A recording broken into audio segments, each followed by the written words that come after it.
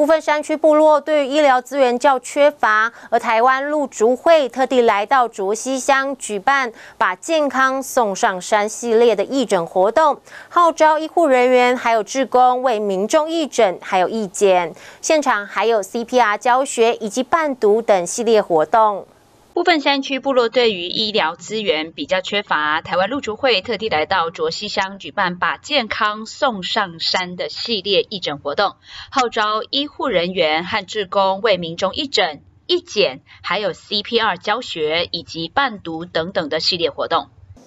平地你在医院里边看到的设备都打造在上面，是，啊，那一台就是这台就是医疗车，那医疗车里边有里面药局、医检。医师当然一定会有，是，而且都是合格的医师，是，都有热忱的医师。